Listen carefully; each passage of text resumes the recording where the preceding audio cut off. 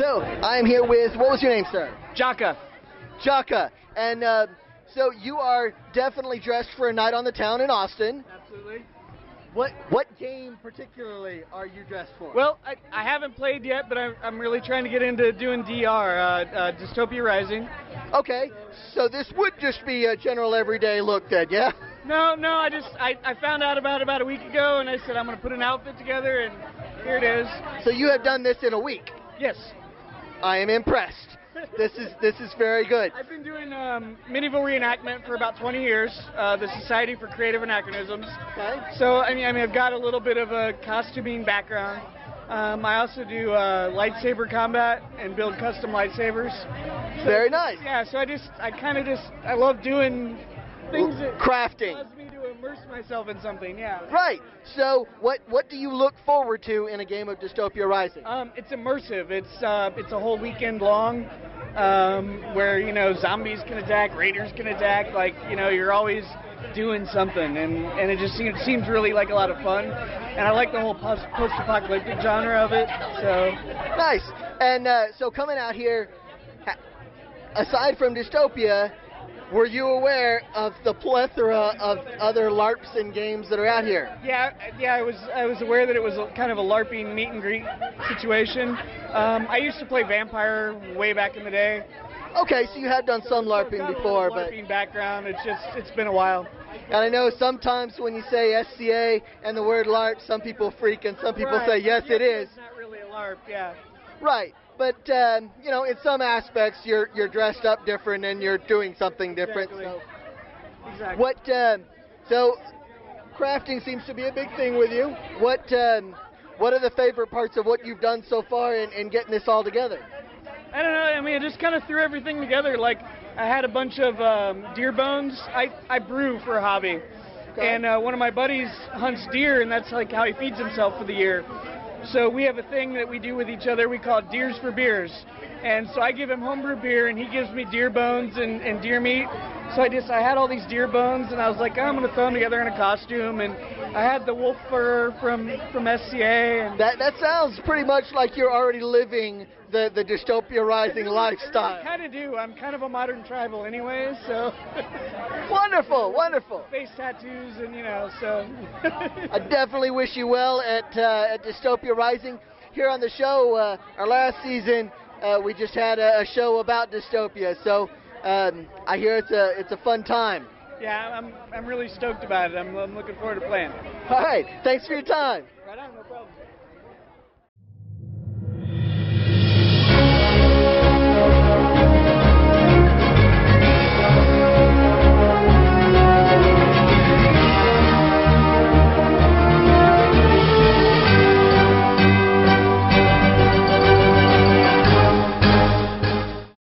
Adventures of LARP fans, uh, welcome to another show. I'm Chris Glover with Courtney Manor, and today we are joined by Gwal Gwal Gwal Feywolf, who happens to be a Fey, hence the name.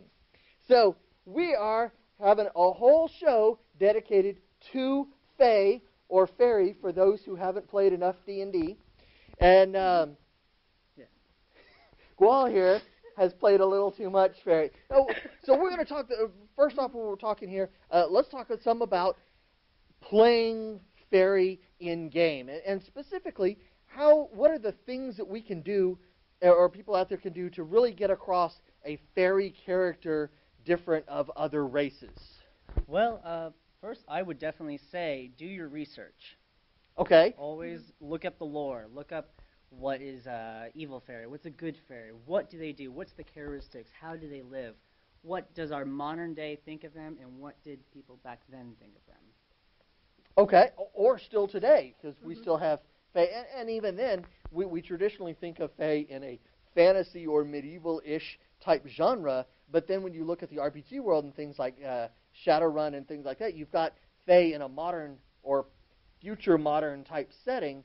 A- a- and then you look at things like uh, Warhammer, and you've got Eldar, even though that's not really a LARP, but you still have Fae in, in, in other settings as well. Um, when you're once you've done some research and you kind of know some of the back history, what kinds of things do you do as a character to really bring out fairy? Well, I would definitely say um, think of a few things. Do you want to be more of the wild and crazy one and move around and just be very wiry? Or do you want to be the superior one and just say hello? Hi.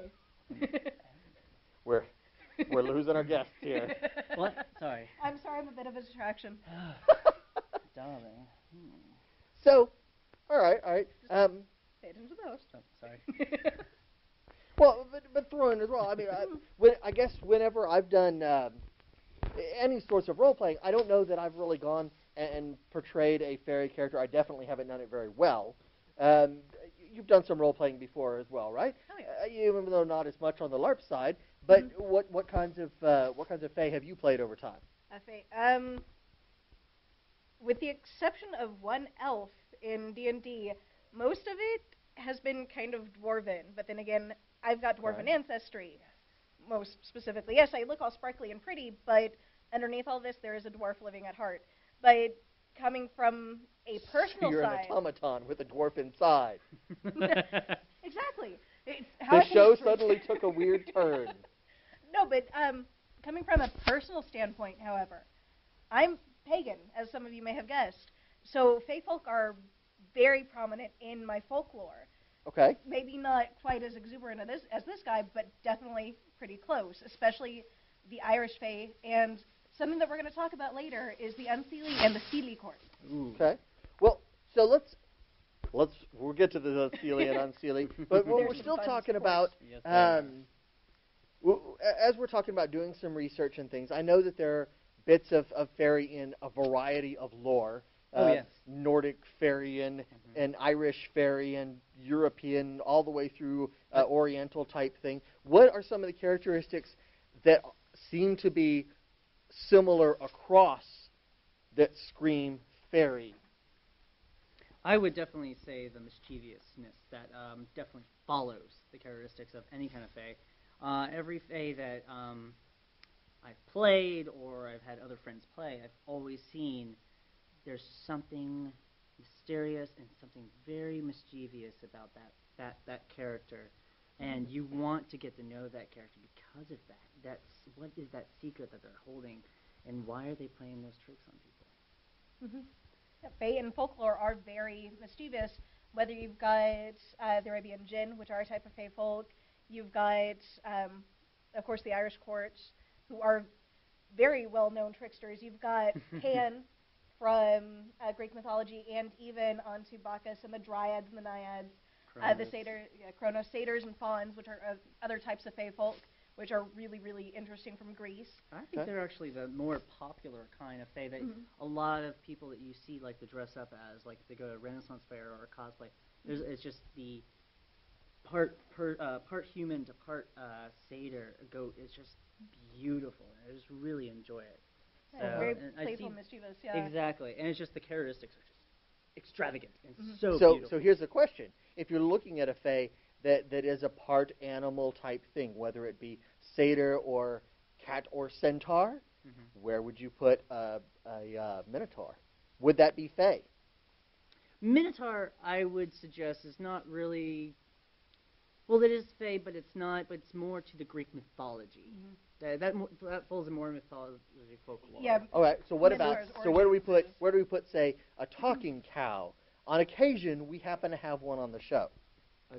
Talking, cow Talking would cow? be more of an enchanted object than an actual fake creature. Yeah, maybe. I mean Yeah, there. Except for maybe a very misguided changeling. Yeah, I mean there there has there has been the uh, uh, the occasional you know cow fairies that do roam about, and there are such things. You know, fae and a cow get together, and it becomes that. So, all right. Here's the next question. We mentioned Seelie versus Unseelie Court.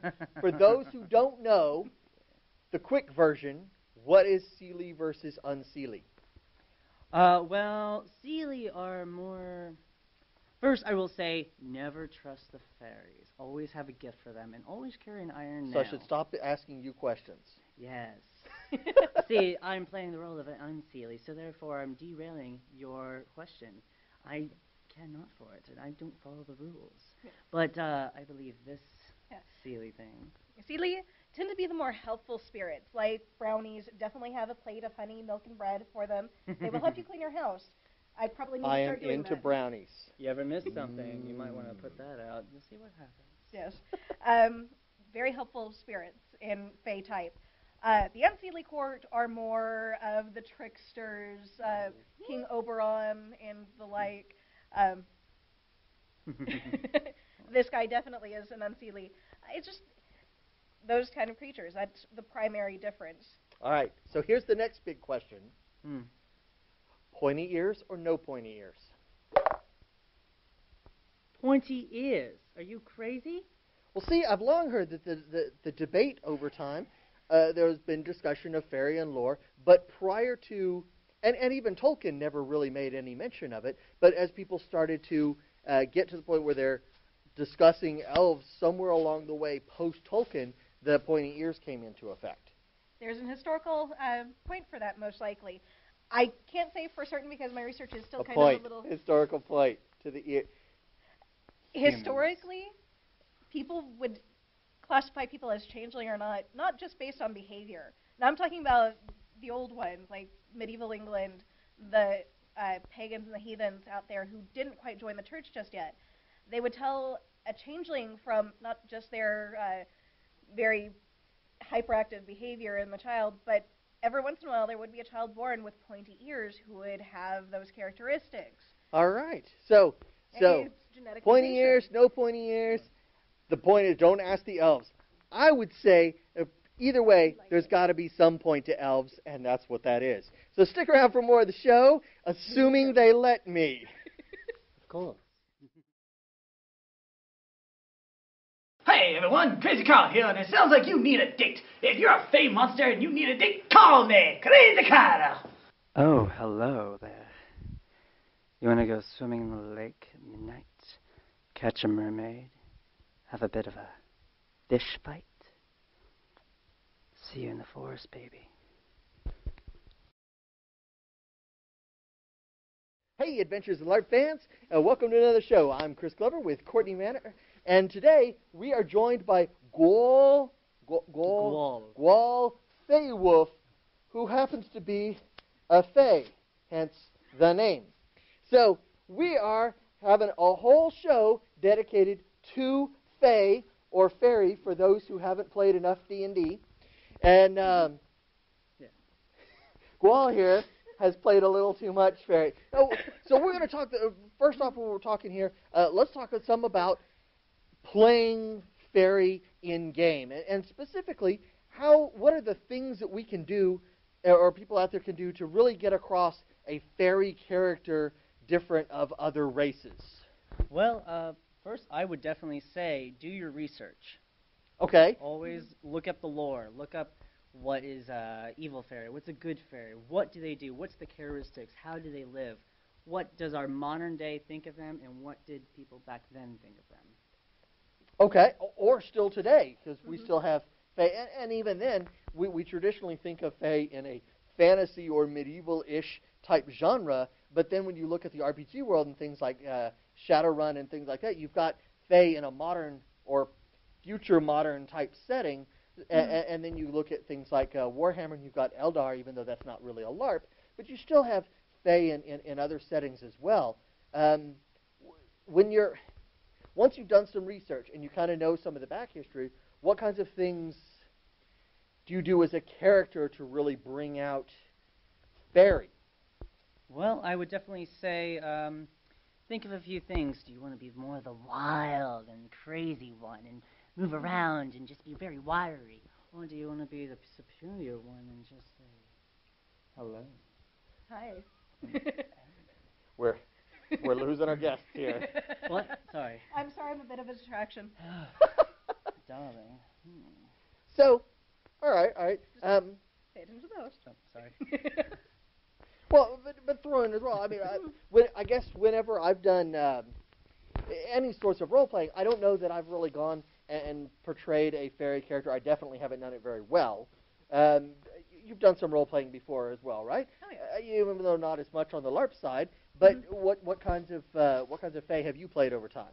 FA. Um, with the exception of one elf in D and D, most of it has been kind of dwarven. But then again, I've got dwarven Okay. ancestry. most specifically. Yes, I look all sparkly and pretty, but underneath all this, there is a dwarf living at heart. But coming from a personal You're side, an automaton with a dwarf inside. exactly. It's how The show suddenly took a weird turn. No, but um, coming from a personal standpoint, however, I'm pagan, as some of you may have guessed. So Fey folk are very prominent in my folklore. Okay. Maybe not quite as exuberant as this, as this guy, but definitely pretty close, especially the Irish Fae. And something that we're going to talk about later is the Unseelie and the Seelie court. Okay. Well, so let's let's we'll get to the Seelie and Unseelie, but what we're still talking about Yes, they um, w- a- as we're talking about doing some research and things. I know that there are bits of, of fairy in a variety of lore. Oh, uh, yes. Nordic fairy and, and Irish fairy and European, all the way through uh, Oriental type thing. What are some of the characteristics that seem to be similar across that scream fairy. I would definitely say the mischievousness that um, definitely follows the characteristics of any kind of fae. Uh, every fae that um, I've played or I've had other friends play, I've always seen there's something mysterious and something very mischievous about that that that character, and you want to get to know that character because of that. That's what is that secret that they're holding, and why are they playing those tricks on people? Yeah, Fae and folklore are very mischievous.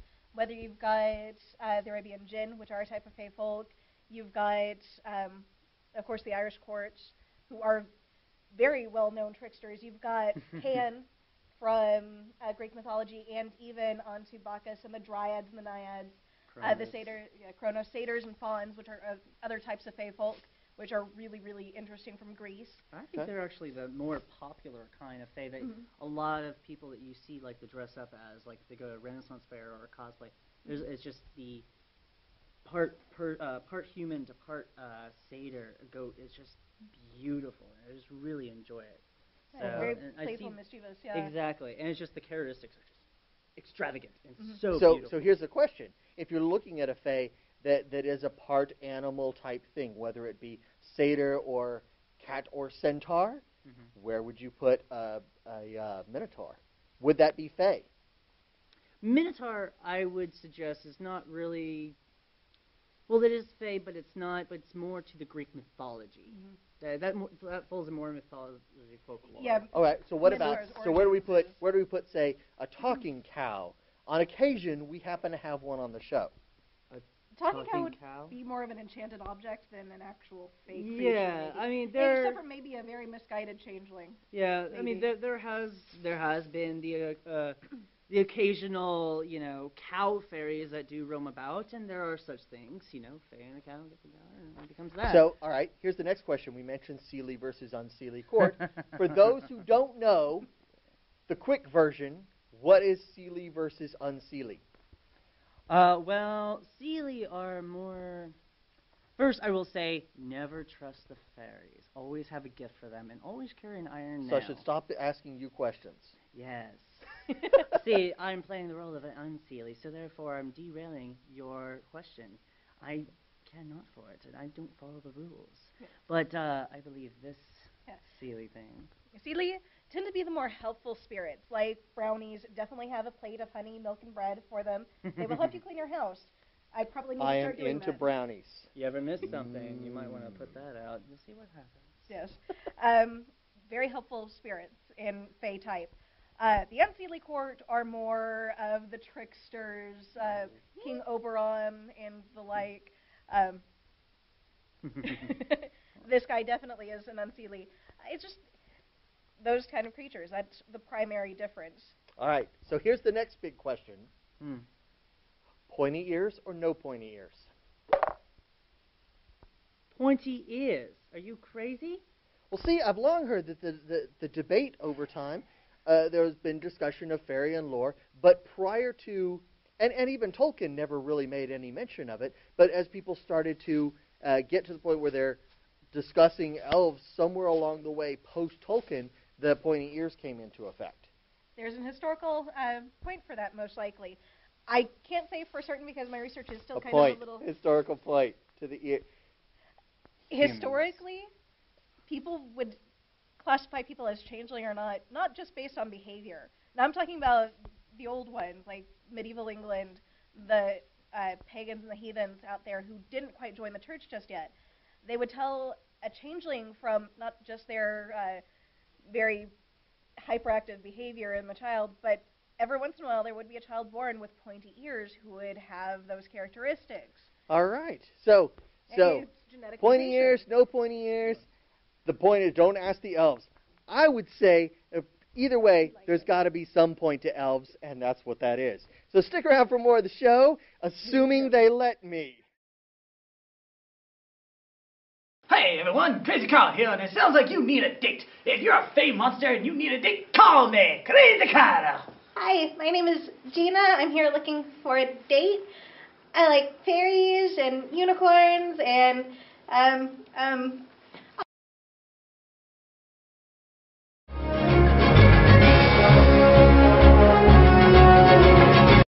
Welcome back, Adventures LARPing fans, to Crafting Corner. I'm Chris Glover, and uh, we are continuing on in our uh, several part series on building an arch. Uh, to bring you up to speed, we're building uh, large props that can be taken, set up on site. This particular one will be an archway that's big enough to go over a door opening or just freestanding out where you need it to be, either in the building that you're using for a LARP or outside, whatever the case may be. Now, previously, we have built the first section. We're building this piecemeal so that we can take it apart and make it travel with us. Now, this first section is about three and a half feet tall. Um, we got it all put together there. And at the top of it, we added two holes for these pieces of PVC. Why did we do that? Well, this is the bottom panel for the upper section of our column with the matching two holes. So when it's put together, this will sit down on top and it won't be able to twist and turn and fall off of the base platform. And so what we're doing today is we're building the top section of our column and then above that an extra small section that will be the base is one side of the actual column piece that stretches across the doorway entrance. And in order to do that and have it sit right on top and not fall off either, we're going to do the same sort of thing that we did here. I've got one panel that will be the top of our upper column, and I've got a second panel that will be the bottom of our cap piece. Before we put it all together, I'm going to go ahead and add some holes in here for more lengths of PVC, just like I did on these pieces. And they're going to be off center. They don't necessarily have to line up in any way, shape, or form. In fact, the more kind of thrown in there a little bit, the better, so that it doesn't twist around. The one important piece is that since I already have PVC coming up on holes this direction, I want to be sure and not line up with these. So I can do it across or I can do it in other parts of the board, but as long as these two line up, and that'll be when we insert the other piece of PVC, they'll, they'll be able to line up and they'll all lock up and everything will be beautiful. So I'm going to get started on that. All right, now that I have my holes cut in the top of my upper column and as well in my cap, and I've got them lined up and labeled as to what they are. I'm going to set the cap aside and we'll come back around to it. What, I, what I'm going to do is just like with the bottom half, we're going to go ahead and attach some of our length pieces across up and down to provide the skeleton for our upper column. Now, one thing that I mentioned before, we don't want the holes to line up even closely. And so I want to be sure that the top here is 90 degrees so that my holes are sure to not line up and that way it won't cause me any problems when I'm putting it together. I'm going to go ahead and get started here. Now that we've finished the upper part of our column, we've got our PVC in place. We just slid it into the holes from our bottom, the bottom part of our column. And now let's join these two. I'm going to slide the holes in the bottom part of this column piece right over the PVC and bam, right into place. That way, when we set it up on site, we just put it together and it'll all line up. Now at the moment, the bottom pieces of the PVC are kind of pushing outside of our skeleton. But that's okay. That's exactly what we want at this point. We're going to cover all of that up when we're actually got everything in place. And now I'm going to work on the cap itself and we'll get this all put together. For the cap, we're just going to put it together like the long top pieces, only it's going to be one foot instead of the three and a half that we have these, uh, the other column pieces set for. So we have the two column pieces at three and a half, plus the cap at one foot brings a total to an eight foot arch. Now, of course, these uh, dimensions can be uh, altered bigger or smaller as the case may be for your particular application. If you go larger, be sure and do a larger base to accompany it. I'll go ahead and put this together and then we'll get back together to cap it off. Okay, so I've got the cap finished right here. We've got the upper part of the column here. I took it off so it's a little easier for us to get to. Now the PVC I got uh, was pre-cut in five foot lengths just because it was easy to grab and easy to get in the car. About the same price as other PVC. But at five feet, we have a little bit of a problem. This is meant to be a four foot section. So I need to be sure and trim down the PVC. I don't really care about the lower section because there's all kind of space in the, the skeleton of the upper section for it to go to. But in this case, I'm going to chop down the PVC about a foot and then we'll come back together. All right, folks. So we've trimmed our PVC down on the top. Let's get this whole thing put together. There you go. Perfect. Beautiful, beautiful. Now, uh, I'm not quite going to slide this onto the base piece at the moment. Um, I'm actually going to get started making a whole nother side. This is one side of our column all the way to the top. It's going to stand 8 feet tall. We're going to be able to play around it and uh, not worry about damaging it, things like that. Now you may notice that when I'm putting things together, not everything lines up beautiful. And that's okay. I'm not worried about it. Because what we're going to do once we finish this skeleton of the other side and we have it all ready is we're going to skin it with a piece of foam insulation and then we're going to cover the whole thing with a paper mache technique.